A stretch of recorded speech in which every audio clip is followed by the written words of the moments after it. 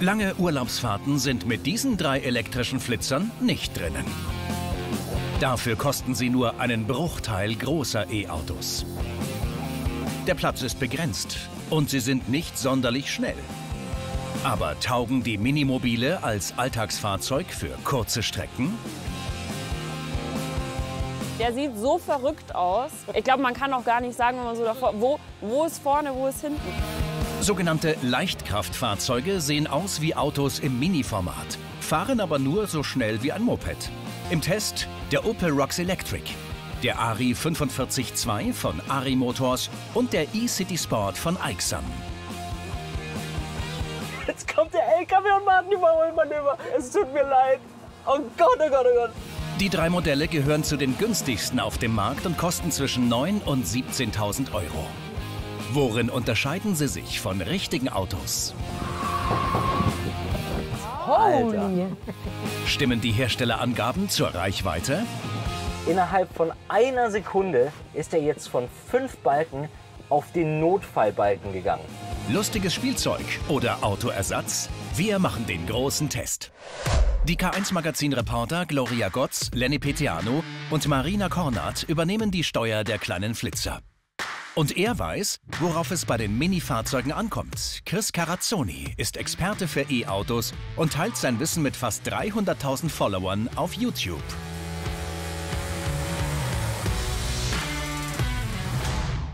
Wie findet ihr das? Oder die? Hast du die aus dem Ü-Ei?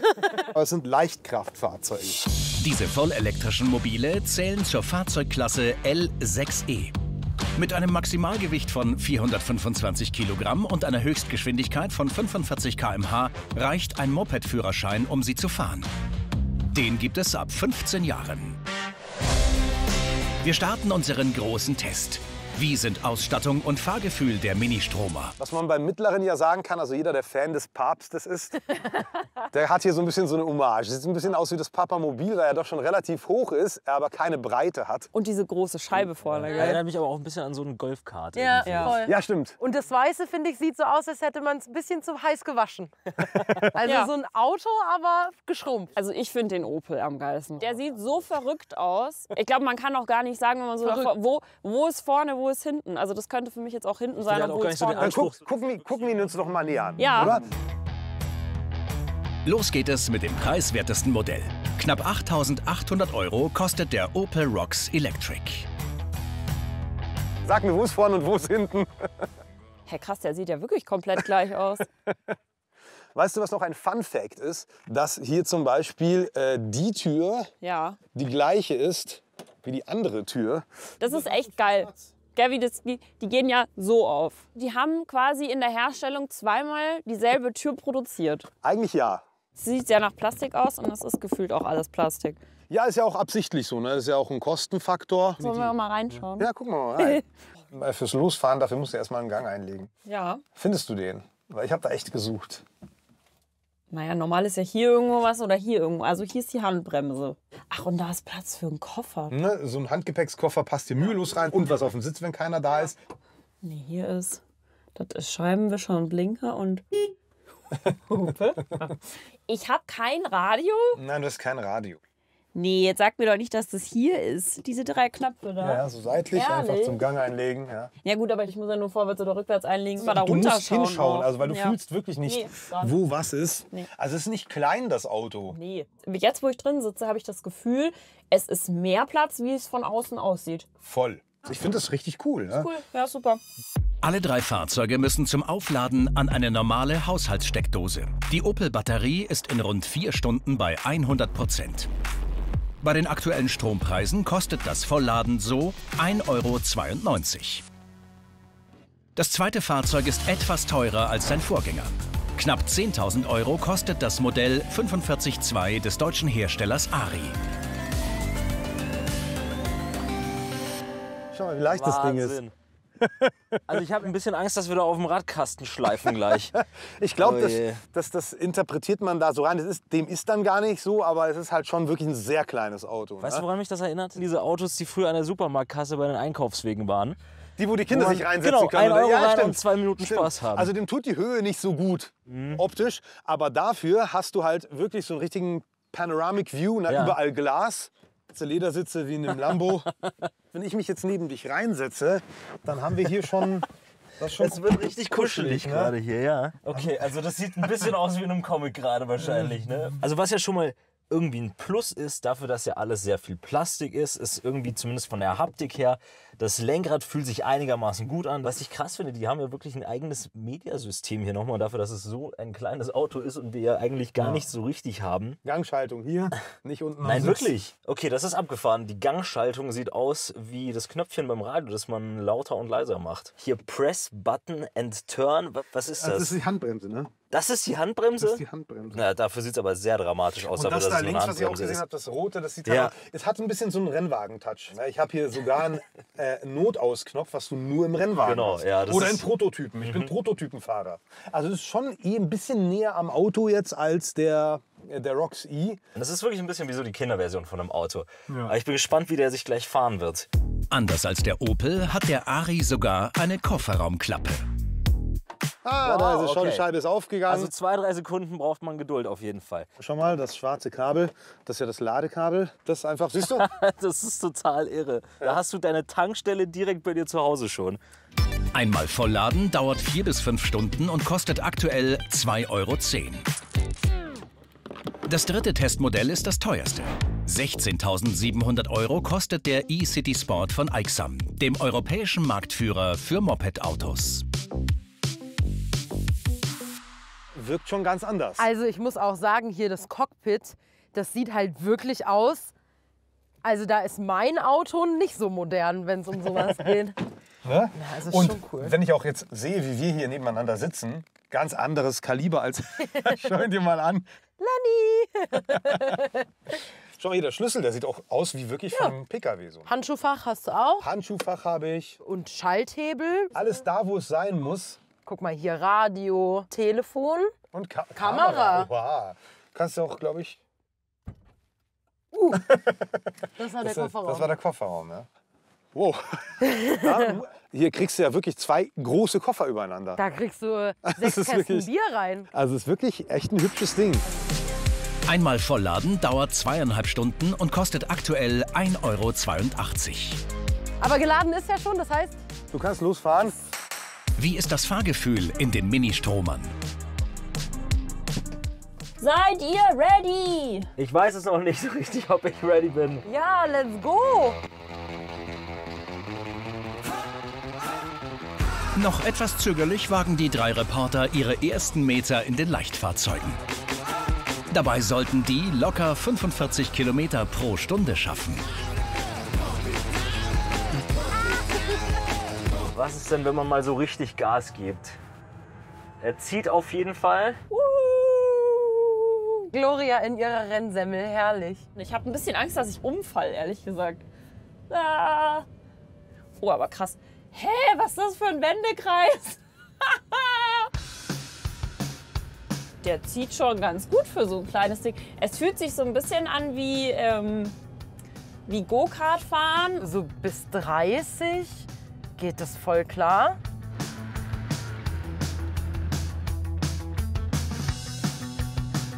Es fühlt sich anders an als ein Auto. Es ist nicht so stabil. Also irgendwie klappert's links, klappert's rechts. Dafür, dass ich am Anfang gedacht habe, dass es so eine super billige Plastikverarbeitung hier drin alles ist, scheppert es kaum. Also in der Kurve neigt sich schon arg. Lenny, du hast mich geschnitten. Hallo. Ich hätte wirklich nicht damit gerechnet, dass es so Bock macht, den hier zu fahren. Und nicht nur das. Mit knapp zweieinhalb Metern Länge und einer Breite von maximal 1,50 Meter passen alle drei Autos in eine Standard-Parklücke. Allerdings nur quer, was nicht überall in Deutschland geduldet wird. Ist doch cool. Aussteigen und aufstellen wird so nicht funktionieren. Aber Aber im, also ist trotzdem krass. Ja. dreimal so wenig Parkfläche wie durch einen normalen PKW. Aber wie verhalten sich die drei Leichtfahrzeuge in Extremsituationen? Wie gut bremsen die eigentlich und wer bremst am besten? Das würde ich gerne mal ausprobieren, indem wir einfach Pylonen aufgestellt haben mit einer Markierung und dann alle drei einfach mit 45 km/h fahren und dann einfach in die Eisen steigen. Ich würde das jetzt dann immer selber machen, weil aus Gründen der Vergleichbarkeit, so dass du dann quasi äh, immer denselben Menschen hast, der bremst. Fangen wir mit Ja. dem an. Auf geht's. Steig ein, oder? Ja. Gut. Nicht vergessen, Tür öffnet andersrum. Für mich. Das ist so verwirrend. Die ganze Zeit links, rechts. Wo? So. Oh, ich bin jetzt schon gespannt. Beim Fahren macht er einen sicheren Eindruck. Ich vermute das jetzt auch beim Bremsen. Glaube ich auch. Du, Ich blockiert irgendwas? skeptisch, nein. Nee, ne? Aus, los geht's. Keines der Minimobile besitzt ein Anti-Blockiersystem.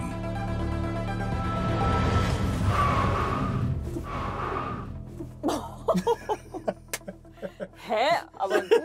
Naja, ein bisschen, bisschen schräg hat er sich gestellt. Ja, er hat sich ein bisschen Ganz schräg bisschen. gestellt, ne? Aber nicht schlecht. Ja. Oder? Nee, wirklich nicht schlecht. Hä? Zack ist ein bisschen ausgebrochen. Weißt du warum? geschwänzt. Wegen der Gewichtsverteilung zwischen uns, glaube ich. Bisschen schau rüber. mal. Hey, das ist echt ein Eine. mickriger Bremsweg, ne? 1A Bremsspur.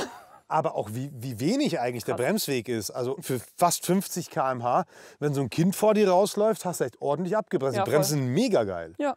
bei dem Ding. Ja, so, ich lasse dich mal nach hinten laufen und warte hier. Schauen wir mal, was hier so fabriziert. Der Ari ist als nächstes dran.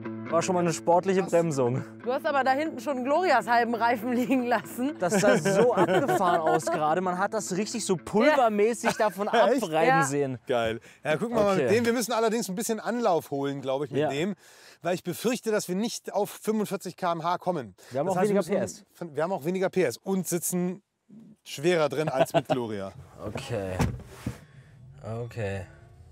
Ich bin sehr gespannt. Je weiter, je schneller man fährt, desto lauter piept er schon mal. Das ist immer ein richtig, richtig gutes Zeichen. Ich halte mich mal kurz fest. Okay, und da sind die Dinger und. Alter! Okay. Das ist halt so. Oh, Junge. Also wenn er Aber- gerade stünde, absoluter Gleichstand. Also mein Puls ist hier gerade. Ich glaube, der Opel bremst ein bisschen besser. So vom Gefühl her. Aber man muss sich mit beiden keine Sorgen machen, Leute über den Haufen zu fahren, wenn du es rechtzeitig siehst. Ja. Wie schnell bremst der Aixam von 45 auf 0?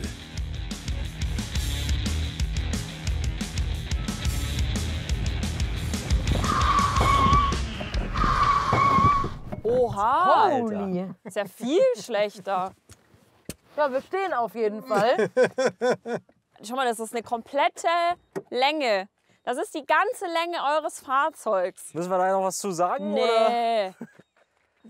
Also in dem Fall hätte das der kleine Fußballspielende Junge nicht so gut überstanden. Aber in Sachen Sicherheitsrelevanz, das Ding ist kerzengerade. Weil einfach Ich weiß nicht, was ihr meint. Die, die Ich weiß- Gewichtsverteilung ist einfach besser. Der ist Also- auch kerzengerade, nur auf einer anderen Achse Man halt. muss nur von woanders gucken. Ja, aber trotzdem halt der längste Bremsweg. Egal wie man sieht. Aber der schönste. Aber der schönste. Das kannst du an dem sagen, den du überfahren hast. Alle Autos kamen schnell zum Stehen. Sie sind bereit für die Straße. Doch vor dem Entladen kommt das Beladen. Wir wollen wissen, passt der große Wocheneinkauf in die Minifahrzeuge? So Leute, jetzt kommt der ultimative Test. In welches Auto passt am meisten rein? Denn nur der Aixam hat einen kleinen Kofferraum. In den anderen beiden Fahrzeugen muss die Ladung im Innenraum Platz finden.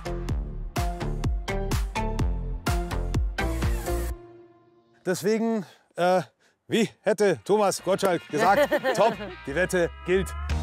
Gloria, Lenny und Marina machen den Test zum Spiel. Wer kann am schnellsten Wasserkasten, Waschmittel, Topfpflanze, Grillkohle, Toilettenpapier und zwei volle Einkaufstüten in den Fahrzeugen verstauen? Tetris-Erfahrene sind hier klar im Vorteil.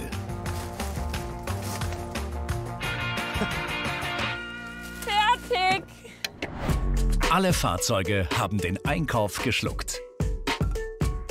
Also hier passt wirklich viel, viel mehr rein. Easy. Das hätte ich niemals ich erwartet. bin echt überrascht. der Ari. Und, und hier war mir klar, weil du hast echt viel und du hättest sogar hier noch hinter den Sitz. Hast Ich habe das Klopapier Ja. und die Tüte Ja. gestopft. Gutes Ergebnis. Also, Alles drin, aber Ja. was man so für einen kleinen Einkauf braucht. Ja. Aber wisst ihr, was auffällt? Der Wagen von Marina ist der einzige, wo eigentlich ich jetzt noch mitfahren könnte. 422 Liter passen in den Kofferraum des Aixam. Aber reicht eine Akkuladung für die Einkaufstour? Unser nächster Test.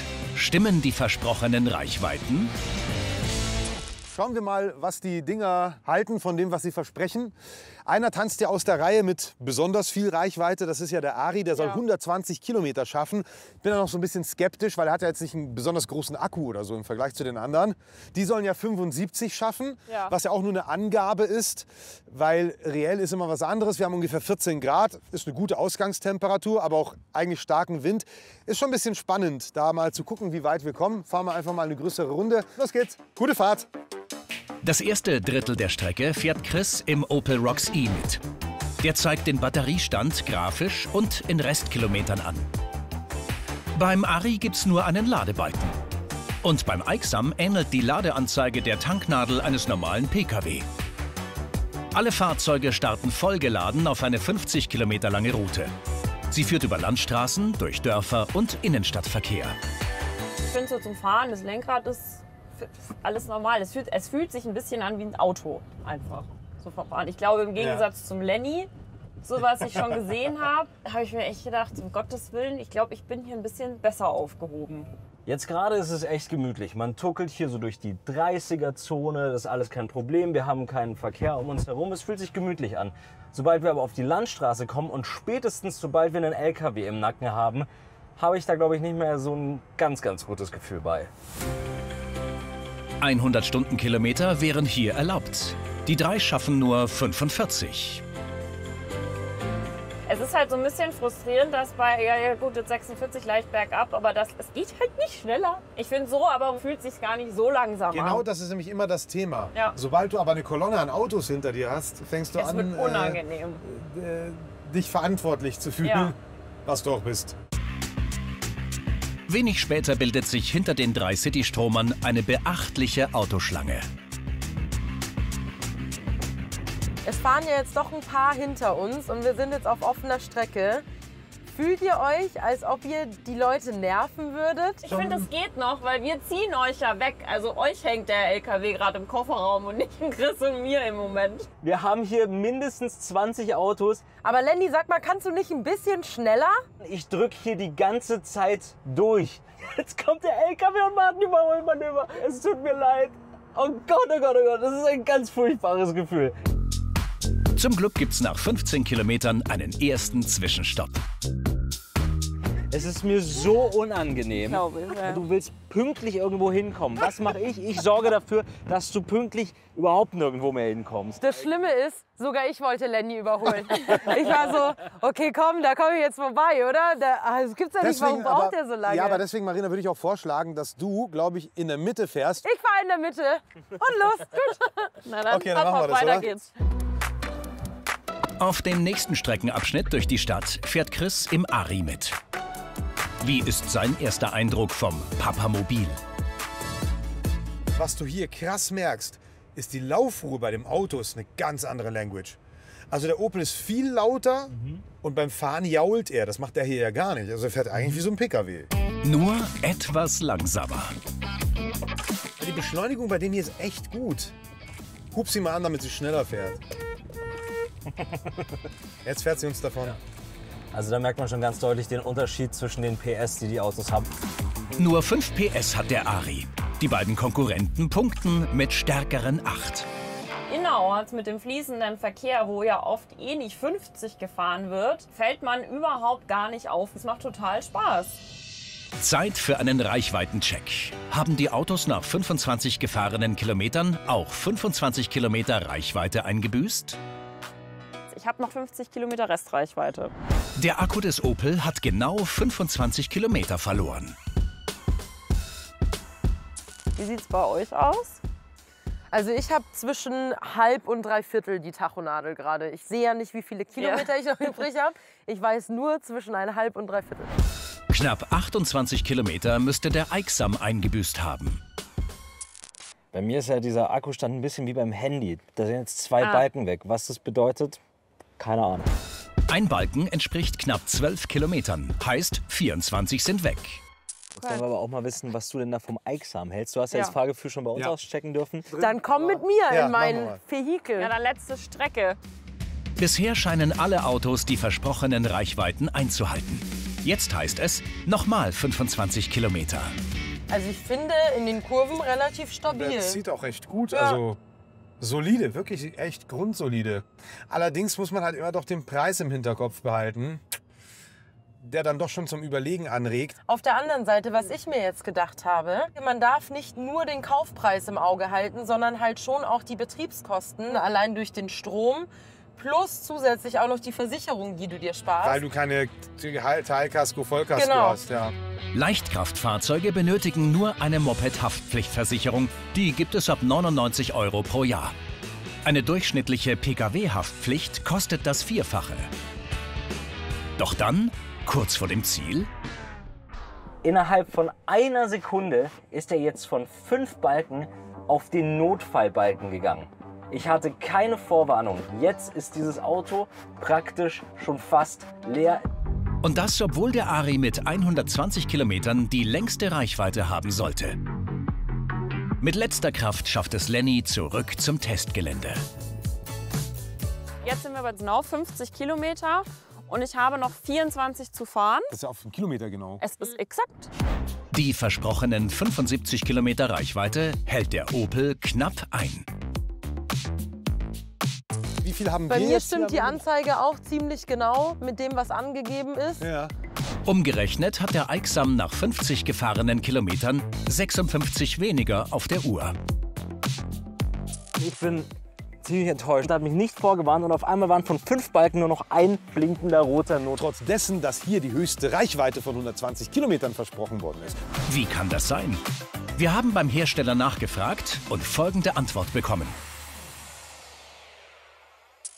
Die Angabe der Restreichweite wird bei dem Bleigel-Akku über den momentanen Stromverbrauch berechnet und schwankt demzufolge je nachdem, mit welcher Geschwindigkeit ich vorher gefahren bin. Wer also ein besonders günstiges Fahrzeug sucht, wird bei uns fündig, muss jedoch mit Einschränkungen leben.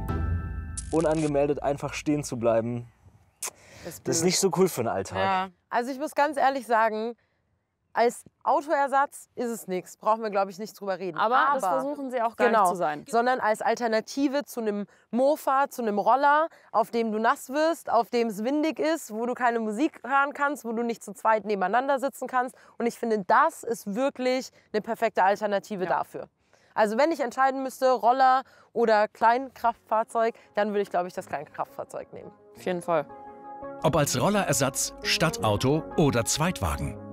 Die Kleinen haben sicher ihre Daseinsberechtigung.